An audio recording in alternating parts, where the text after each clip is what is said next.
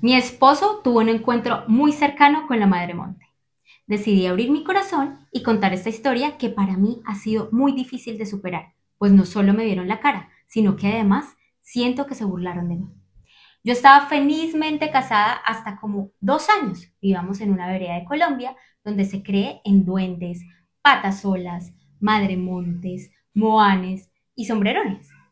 Es, en algunos países de Latinoamérica se le conoce como leyendas urbanas de personajes del mundo paranormales y se replican para provocar temor, terror, sustos y miedos. En esa zona es muy común escuchar historias en las que todas las noches pasean los duendes por esa vereda. Nosotros con mi esposo vivíamos en una finca algo retirada del centro poblado y llevábamos viviendo un año allí, ya que en la finca que vivíamos antes los patrones nos sacaron, porque supuestamente mi marido estaba haciendo muy lento los trabajos y el patrón decidió sacarlo. No, pero esperen un momentico. A mí sí me perdonan, la risa me la he tenido que aguantar, mi bella. Ajá. ¿Me repite los nombres de las leyendas urbanas? Yo no había, ni yo que vivo acá, las había escuchado Claro todas. que sí. Duendes, patasolas, madremontes, moanes y sombrere y ¿Y su sombrereros. merced sabe qué es un moan? ¿Moanes? ¿Qué son? Mira, la verdad, cuando me llegó esta historia yo también hice, no entiendo. Bueno, cabe aclarar, como siempre, no nos pasó. No nos pasó. Y yo personalmente no creo en eso. Yo tampoco. Me da risa, pero no quiero eh, que se Herir. incomoden, herir susceptibilidades, ni que se sientan irrespetados. Simplemente, de pronto, burlados de mi. Bueno, yo siento que eso empezó mal. Imagínate. Porque cuando ella dice que eh, ni siquiera se aguantaron al esposo en la finca porque no cumplía la labor, pero además creen en esas cosas, ya empezamos con gente. No, sigamos, a ver. ¿Quieres saber? Bueno, Yo- esto yo está necesito. buenísimo.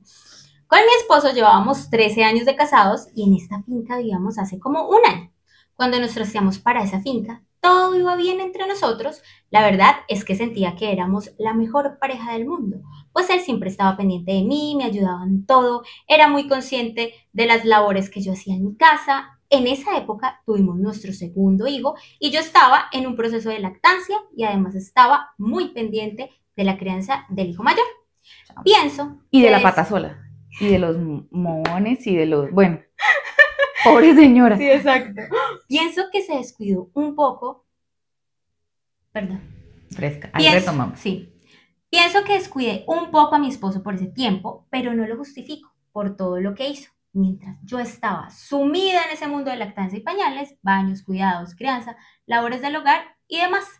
Mi esposo trabajaba en la finca y mantenía todo el tiempo muy cerca de mí y los niños. Pero cierto día empecé a notar que él se estaba demorando más de lo normal cuando llega el mediodía para la hora del almuerzo, que normalmente siempre es a las 12, pero estaba llegando entre 1 y 2 de la tarde. Decía que trabajaba muy duro para poder sembrar un nuevo lote de café y que se la pasaba el tiempo sin darse cuenta. No le daba ni hambre. Pero es que dos horas de descuadre ahí ya pilas. Eh, Yo no sé la historia.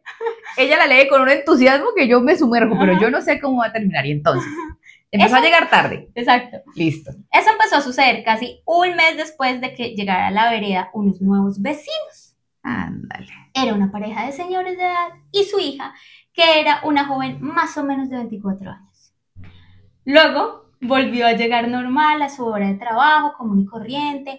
Llegaba otra vez a, comer puntual a las 12, pero en las tardes ahora se demoraba más de lo normal. Cambió el horario. Sí, sí, hubo Y modificación en la rutina. Y llegaba tipo 6 y 7 de la noche a la casa. Y las jornadas en el campo no, Muy bien. no se acaban a esa hora. A esa hora no, eso ya es para que uno esté resguardado Durmiendo, porque sí, es ya haber cenado. Cosa que me parecía muy raro, porque en el campo las labores son máximo hasta las cinco y media de la tarde, que todavía hay algo de luz en el campo. Al inicio me dijo que como los vecinos eran de edad, le habían pedido el favor de hacer unos trabajos pendientes dentro de la casa y que ellos le estaban pagando por eso. En ese momento le creí. Luego me salió con que al ganado de mi vecino se le había perdido una novilla y que le tocó ayudarlo y encontrarla. Como a los tres días, me salió con el cuento que la esposa del vecino estaba enferma y que el vecino le había pedido el favor de ayudarlo con la descara, con la desescarada, qué pena, qué pena, Esperen, esperen. Le habían pedido ayuda con la. descerezada del café. Hmm, Ahí ya va ganado. Escapaditas de noche. Vamos a descerezar café Ajá. en la noche también. En la ay, noche, todo qué creativo. ¿cierto? Ya con todas las excusas que me había dado hasta ese momento del por qué llegaba tarde y cuando le vi un rasguño, y cuando le vi un rasguño en el cuello, Ah, le dije, el cuello. sí, en el cuello, en el cuello. No, no, no. Y le dije, bueno, tendré que hablar con el vecino porque me está robando a mi marido y fuera de eso, Llega llega, con heridas extrañas. Él de una vez se puso rojo y me dijo, no, mija, le voy a contar la verdad. Pero siéntese, porque este posiblemente cause dudas, miedos y hasta no me va a creer. Hmm, Resulta, Sorpréndeme. sí, sí, resulta que se me está apareciendo de camino a la casa la Madre Monte. Madre mía. Ay, no, miren, de verdad que no es a propósito, pero es que ustedes se pasan con esas historias. O sea, hay unas que uno quiere mostrar empatía, comprensión, hasta Ay, leer en exacto. otro tono, pero es que se pasan. Y no, ¿Y quieres saber qué contestó ella? Dijo. claro, ¿qué le hizo la madre monte al pobre? Cuando él me dijo eso, obviamente dudé inicialmente. Bien hecho, ¿no? Y le dije que ese cuento tan reforzado solo se lo creía a un ingenuo.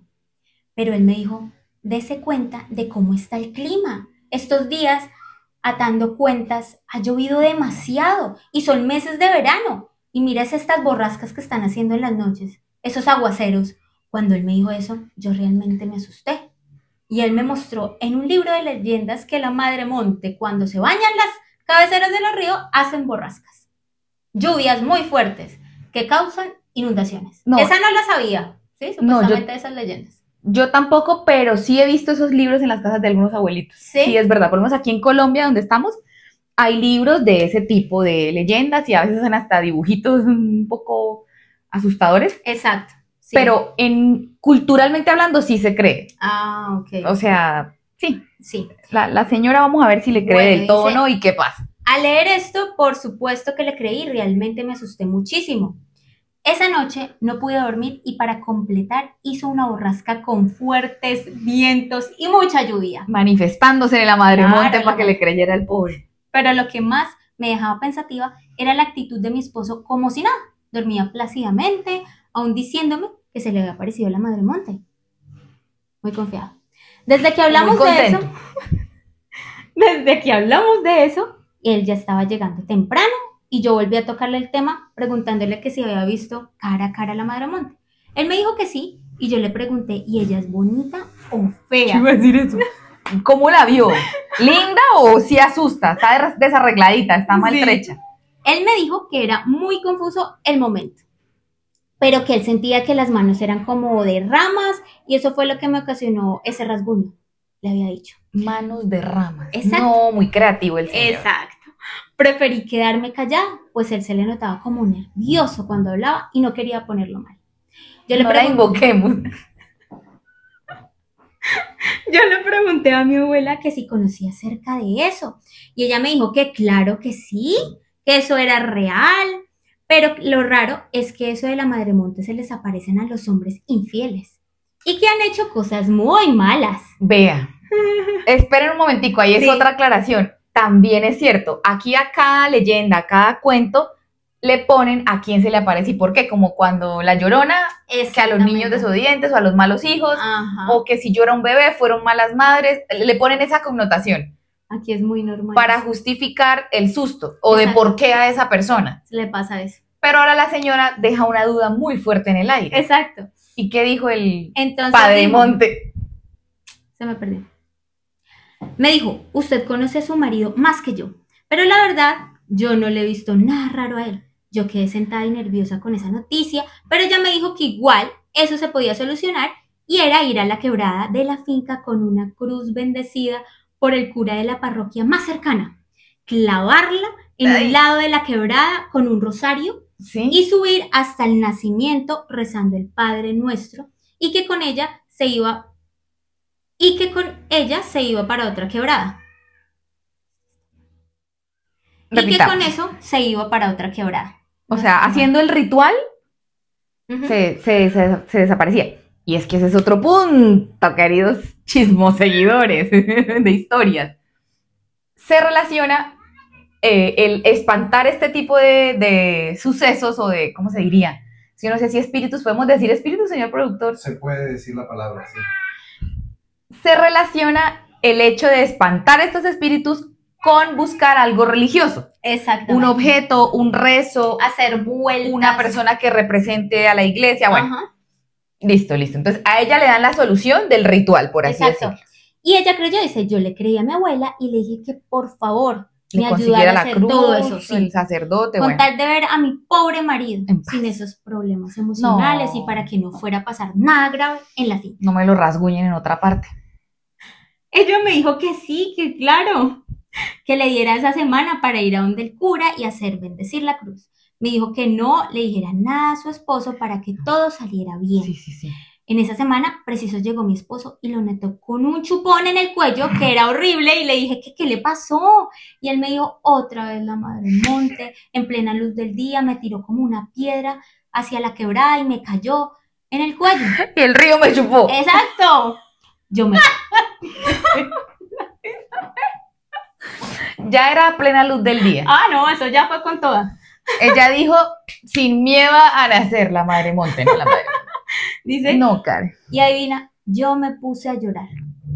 Y él ¿Por la madre monte, por el chupón o por el pobre No, marido? yo creo que por todo, estaba muy asustada. ¿Sí? No, Y él me dijo que tranquila, que todo iba a pasar. Ese marido estaba muy... Yo esa noche, mientras dormía, llamé a mi abuelita y le conté, ella me dijo que hiciéramos eso al otro día, que ya no tenía... Eso era urgente Sí, no, que ya tenía todo listo. Nos fuimos después del desayuno para la quebrada y ya cuando habíamos puesto la cruz y el rosario e íbamos a la quebrada arriba rezar. rezando, Ajá. el Padre Nuestro, nos encontramos a la hija de los vecinos lavando la ropa. Yo me asusté pensando que era la Madre Monte. Cuando nos dice, vecinas, ¿cómo están? Se sabe mi nombre, la, la madre monte. Se presentó, dijo que se llamaba Dolores y que era la hija única de los nuevos vecinos. Lolita, mucho gusto, Lolita. Nosotros la saludamos, le dimos la bienvenida y seguimos caminando hacia arriba. Cuando llegamos a la casa, mi abuela sí me dijo, no sé, pero yo presiento que esa mujer es la Madre Monte. Entonces tuvimos una Le discusión. pusimos cara bonita a la madre monte. Entonces tuvimos es que una discusión y le dije que respetara a mi esposo, que él era un hombre serio y que en estos 13 años de matrimonio nunca me había puesto los cachos ni faltaba el respeto. Por lo menos no con la madre monte. Exacto. Mi abuela prefirió irse y yo quedé muy mal. Cuando llegó mi esposo al mediodía y me vio así, me, se preocupó y me preguntó que qué me pasaba. Yo le dije que estaba mal por todo lo que estaba ocurriendo a él y con ese tema de la Madre Monte y que quería solucionar eso ya. Él me dijo, mi hija, no se preocupe. Yo ya averigüé y él me dice que eso es, es normal por esta zona, que a veces los molestan a uno con esos días y luego que desaparecen de la región, pero que los hombres que se entran con ella al final terminan más bendecidos y mucho mejor. No me crea tan. ¿Se puede decir pendejo en red? ¿Cuáles hombres terminan bendecidos? ¿Los que se meten con Los que sí. con la? Con las dos. O sea, Con ahora la solución, ahora la solución no era el rezo ni, ni la cruz, nada. Nada, Era que se le irse con ella al fondo del monte, porque iba a ser llevársela lejos y e iba a ser bendecido. bendecido. No me crea tan salvaje, men. Por favor, que la señora de la historia no le haya creído, Karen, Ay, necesito Dios saber. mío, vamos a ver. Todo quedó así y realmente no vi nada raro en mi esposo como en un mes. Quedó todo tranquilo. Yo un día quise llevar al lote un jugo de lulo a él porque pues estaba cansadito. Y pues le encantaba el jugo de lulo. Y cuando llegué al lote, que supuestamente debía estar, no lo encontré. Se me hizo raro y me devolví a la casa. Él llegó al mediodía y lo primero que le fue a preguntar es dónde estaba. Él me dijo, mi hija, en el lote que usted sabe que estoy sembrando. Hmm. Yo no quise decir nada y preferí salir de la duda y seguirlo en la tarde. Así se hace. Él salió de la casa y yo esperé 15 minutos para ir a buscarlo y cuando lo vi no podía creer lo que estaba viendo. No, yo necesito saber. Justo estaba, ¿Lolita o la madre de monte? justo estaba en la quebrada con la vecina. Y ya no cabían dudas de que era la madre monte mi vecina. La muy muy- joven ella, ¿no? Muy bonita Muy esa madre monte. Sabía lavar por lo menos. Dice, la muy descarada había embelesado a mi esposo con sus encantos y sus curvas. Luego de eso me separé de ese señor y ahora vivo con mis padres y mis hijos en la ciudad. Pues muy bueno que lo haya dejado.